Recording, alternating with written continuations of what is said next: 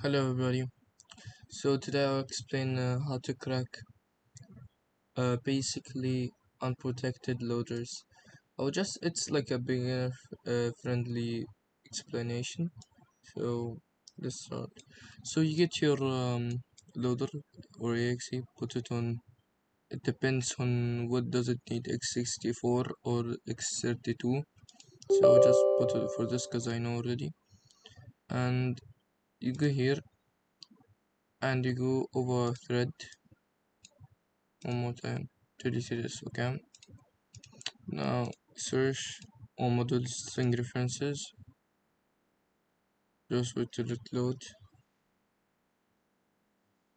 After it load you go get uh type um let's see. Invalid okay. Success I think it go oh yeah. Authentication successfully. So this uh, we need this to be used after like look. So basically what I'm trying to do I want this to be used after I put even the wrong key. So what I do I basically copy and copy the address.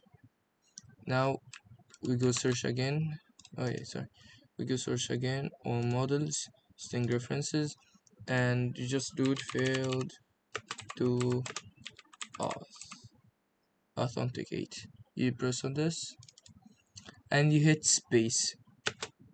After you hit space you just write this. Jump jmb ox i mean 0x sorry and the address you just copied. You only do it one time and now you do patches patch file and name it whatever you want. Ud ud.exe patches applied let's see if it will even work. So just to show you proof that's not fake like I can try it now. It it um like it's uncracked look it's gonna close in, uh, automatically. So what now I do? Open this one. Go on press on this and now any key works.